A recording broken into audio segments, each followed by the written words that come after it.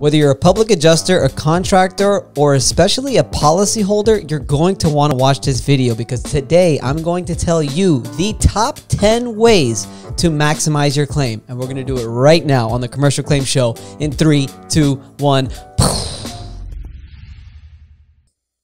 What's up, advocates, and welcome back to another episode of the Commercial Claims Show. I am your host, Vince Perri, owner and CEO of Elite Resolutions, a public adjusting firm, and the Commercial Claims Advocate. And today, I want to get right into it.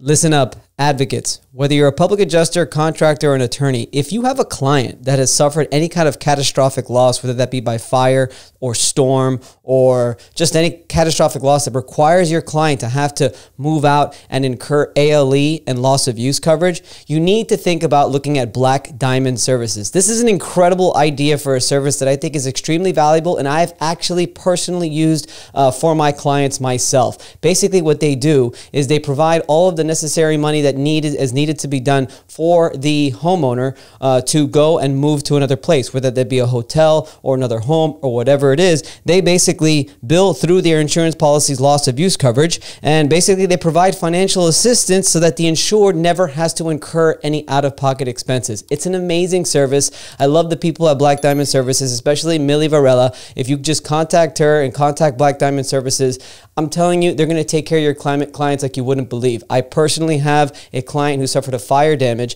and had to use their ALE coverage, and all we did was refer them to Black Diamond. Our clients did not have to come out of pocket a single penny. Black Diamond prov provided all of the financial um, uh, money, and they provided the actual location for the homeowner to stay. Amazing service. Contact Black Diamond Services today so you could find out more information for yourself. I want to get into the top 10 ways to maximize your claim. There's a certain, definitely different ways of doing it, but there's definitely a set things that you should do upon filing an insurance claim to make sure that you maximize it, to make sure that you're getting the most value for your claim. And it doesn't necessarily mean hiring a public adjuster. It doesn't necessarily mean hiring a contractor. It just really means following a strict set of steps, a set of rules that you need to do to make sure that you're getting the insurance company's attention, that you're presenting them with the proper documentation, that you're following up with them on a consistent basis to make sure that they going that they're going to pay your claim. Not just going to pay your claim fast, but going to pay it to what you actually need to put the home back together again. So that's why this is a great video for not just public adjusters, not just contractors, but for policyholders as well. So let's get right into it. Number one. Number one, after a loss occurs, take photos. You have to take photos. You have to document the loss. You have to make sure that you've got evidence of actual damage because if it's the kind of loss where people come in and start tearing stuff out and you don't have any photos to prove that there was actually damage that occurred, that's not good. Also, if you have like a water pipe burst or something like that, and you've got water all over the house, Take photos, take a video, take a video of you sloshing around through the house with water all over. Or if there's a wind event, if there's a windstorm and you suffer roof damage, take a video of the actual wind blowing out of your house. I'm telling you, photos, in my opinion, are the most important. That's why it's number one. Number one is you have to take photos. It's the most important part of the claim that we present to the insurance company to make sure we're providing the evidence that they need to pay the claim. Because the first and foremost, most important thing is proving that an event occurred. If it's a hurricane or an earthquake or something crazy like that, that's a different story. But when it comes down to just something uh, insignificant or something not insignificant, but just some random wind event, or if it's some random hail event, or if it's some random like pipe burst, take the videos right when it, I mean, it's just so important. The first question I always ask a client when I walk into the house is, Did you take photos? And I hate it when they tell me no. But we live in a day and age where you've got your photo right here. You've got your camera right here. Take photos of the loss immediately.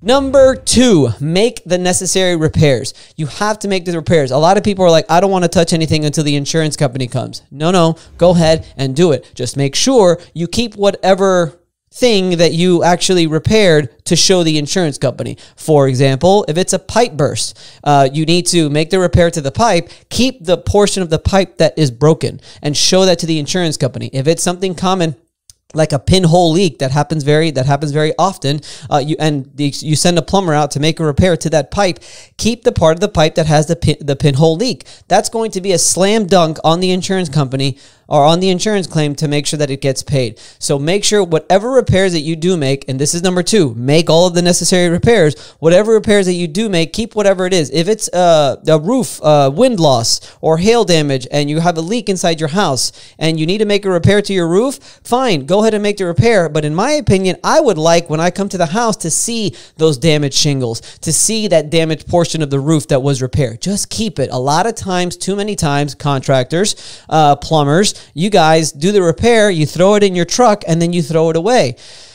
To any other job, maybe, sure, but when it involves the insurance company and involves an insurance claim, give it to your client, keep them, and tell them, hey, this is going to be very valuable for when you uh, when the insurance adjuster comes for him to take photos of. So keep whatever it is that was broken and that was repaired.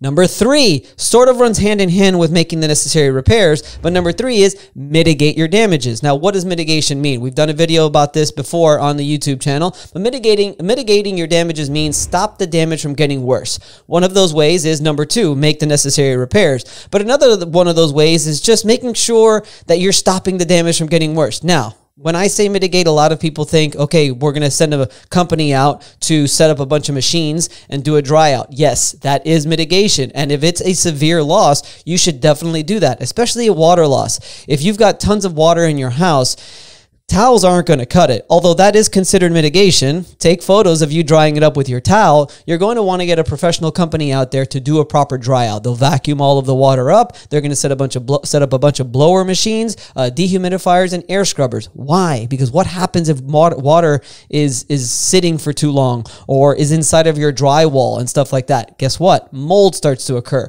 But it's your job as a homeowner to stop that mold from growing, and the way you do that is by hiring a professional company to set up the proper machines to make sure it's properly dried out. Also, blue tarp. Blue tarp is mitigating your damages. If a loss has occurred to your house and you have a leak now coming inside your house, you can do the number two of make a necessary repair to the roof, sure. Or you could go ahead and you could set up a tarp in your roof to stop the water from entering. That's mitigating your damages. Another mitigating your damages that people don't really think about when the insurance company asks, Did you mitigate your damages? You could just say, yes, I stopped using it. So, for example, a shower pan. Uh, a shower pan only leaks when you're actually using the shower. If you notice that there is a shower pan leak, stop using your shower.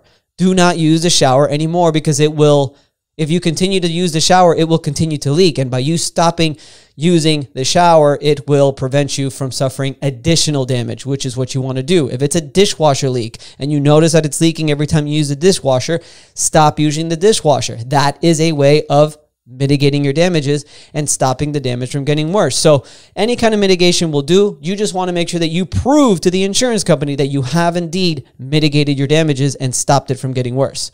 Number four, okay? Facts of loss. You want to make sure that you get the facts of loss. Now, this is good for public adjusters and contractors. When you enter a home, you have to interview the client. You have to start asking them what happened, what went on. What I like to do as a public adjuster and for homeowners too, you should write this stuff down. Uh, is just tell us what happened. Give us a story. What is it that exactly that happened? We want to make sure, again, in order to get coverage, we have to prove that an event occurred, right? A sudden and accidental event occurred. So write it down. You know, at what time of day did it occur? What was going on? What kind of what kind of weather was it like outside? And we have a wind report that says X, Y, and Z. What do you remember about that day? Well, I remember, you know, the umbrella outside of my house it blew up and it went upside down. Uh, you know, there was a lot of wind. People people were complaining about X, Y, and Z, whatever it is. You want to make sure that you get the facts of loss because you're trying to prove to the insurance company a sudden and accidental event took place. Uh, facts of loss is did you get any repairs done? Uh, who did you call? What was the first person you called? What did they do? What time did it happen in the middle of the night? Get a nice little document. What we do is every time we go into a claim, we interview the client and we document everything and we put it into our file and we have a section that says facts of loss. And it's just a paragraph or two of exactly what happened. On this date, X, Y, and Z happened, blah, blah, blah, blah, blah, blah, blah. And this is what you present to the insurance company as sort of like this is what occurred. This is the loss. This is the claim. Here is what happened. It's going to help you again in proving your case and making sure that your claim gets paid. So get the facts of the loss. Number five could be number one. File the claim and file it fast. Do not wait too long to file the claim. It is under your obligations, your post loss obligations in your insurance contract with the insurance company, which is the insurance policy, which is a contract, is to file the claim fast. Okay. Do not delay. Okay. The longer you delay in filing the claim, the worse it's going to look on you and the worse you're, you're not abiding by your post loss obligation and the better reason they have to deny your claim. So file it fast. It, it, it's better if it's same day or the day after. But if you wait about 48 hours or maybe 72, that's already a little bit pushing it if you're trying to make sure you get you're getting your photos and you're getting a proper dry out and all that stuff there's things that have to get done but either way you want to make sure that you file it and you want to file it fast. I would try to do it same day. One to three days is okay. After that the insurance company starts to raise red flags and they might want to send a reservation of rights letter. It's not necessarily what you want. So get the claim filed and get it fast. Number six Meet with the adjuster and show them everything. Okay. This is for everybody contractor, public adjuster, policyholder. When the insurance adjuster comes out, make sure that you're showing the insurance company absolutely everything. Do not let them miss anything because they might be going in there with a broad scope and they're not really in, it's sure what to look for. It's up to you, whoever it is that is showing the insurance adjuster, to show them look at the damage that occurred. We also noticed damage behind the wall and we also noticed damage behind the baseboard. And we did this because of this this. Okay. If you're up on a roof, make sure that you show the insurance adjuster every single shingle or tile or broken shingle, broken tile, crease shingle, whatever it is, show them everything and try to make sure that they're taking photos as well. Because there are times, even though number one is take photos, you'll be surprised. The insurance company may not even look at your photos. They're going to be definitely, though, looking at the insurance adjuster's photo of the field adjuster that went out. They're going to be looking at those photos. So make sure that when you're there, okay, show them everything and make sure that they take photos of everything that you're showing them. So meet with the adjuster and show them everything. Number seven, now you've got the claim filed. The claim is open. You've already had the insurance company, uh, the insurance adjuster come out to the property. Follow up. Follow up is so important, but there's a special way of doing it. At Elite Resolutions, we follow up every seven days. I feel like this is a good little time limit to give them a week to go ahead and follow up.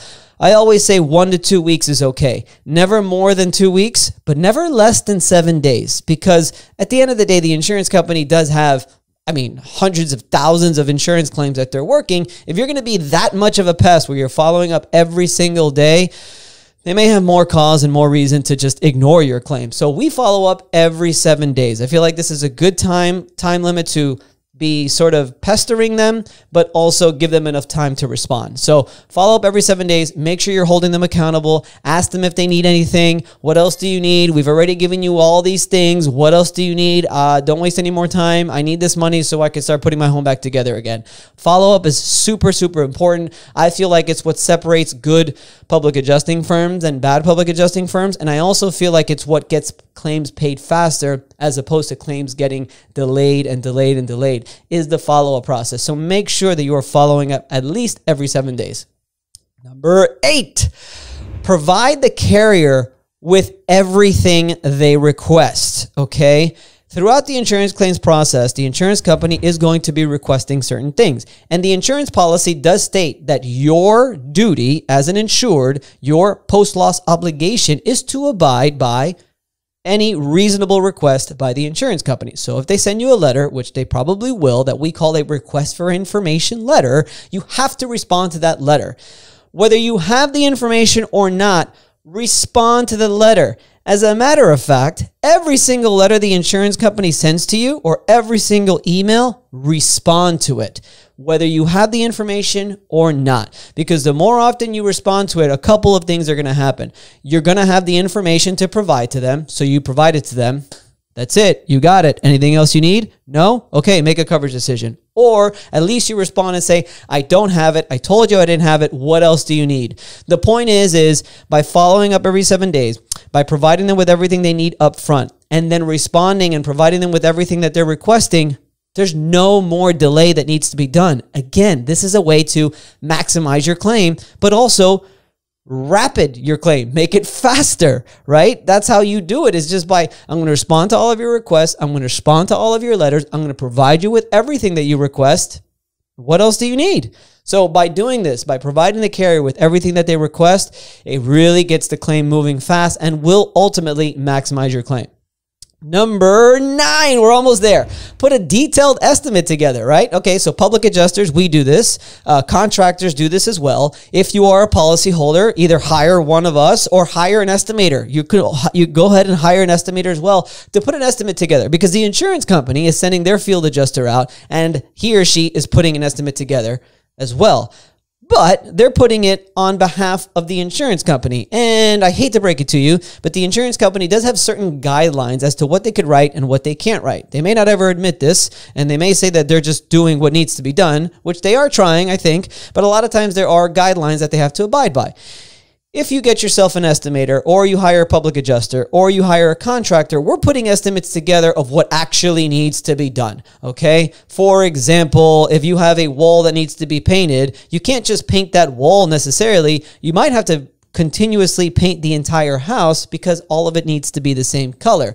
If you repaint one wall only and don't repaint the other walls of the same color, it's not going to look right. So little things like that, or if your roof is damaged and you see is only a little bit of minor damage, but it's an old roof, and every time you start to do the repair, it goes on to eventually you having to replace the roof a licensed and certified contractor and a licensed and certified public adjuster will make sure all of that is included.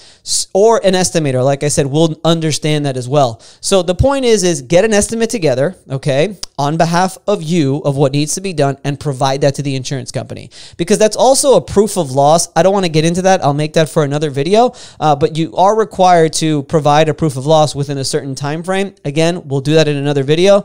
But the proof of loss is is it really has a lot to do with the estimate. So provide that estimate slash proof of loss as soon as possible, okay? And get one on your behalf. Public adjuster or contractor can do that for you, or like I said, hire an estimator. But get that to the insurance company immediately.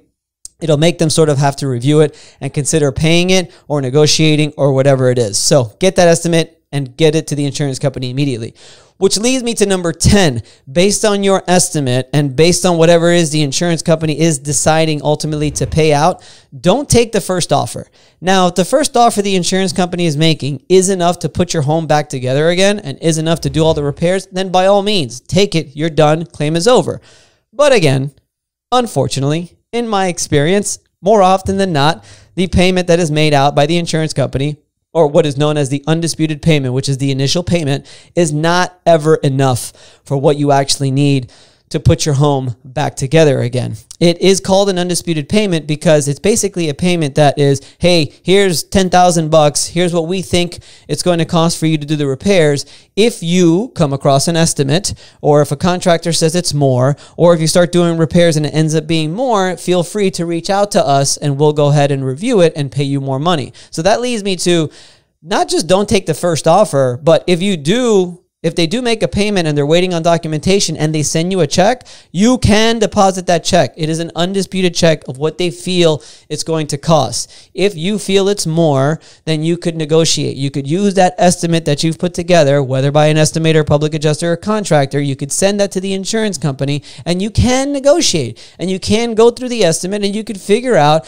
uh, what it is that they were missing on their initial payment and what it is that you need to put your home back together again. So, number 10 is don't take the first offer. Take that estimate that you've put together and try to negotiate on your behalf to make sure that you get the money you deserve to put your home back together again.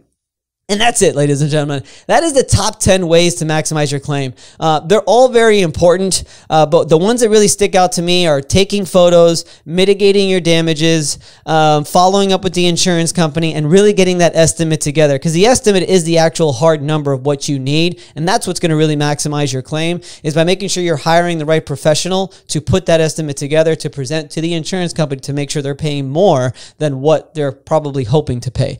Uh, because it's probably going to cost you what it's going to cost you based on what a contractor is telling you. So that's it, guys. Top 10 ways. Take photos, make necessary repairs, mitigate your damages, get the facts of loss on paper, file the claim fast, meet with the adjuster and show them everything. Follow up every seven days, provide the carrier with everything that they request, put a detailed estimate and proof of loss together, and submit it to the insurance company as fast as you can. And remember, don't take the first offer. Unless it's good enough for you to do the repairs, if it's not, and if it's not by just one penny, make sure that you let them know that they need that you need more money to pay your claim.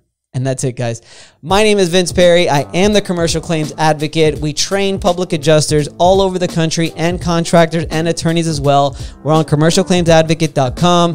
This is the Commercial Claims Show. We've got the Claims Game podcast, and we're even do industry meetups where we're always bringing the industry professionals together. We do them all over Florida and all over the country. Just take a look at the website, find out if we're going to go to a city near you because we are trying because we do feel that we are stronger together, and we're really trying to elevate this industry.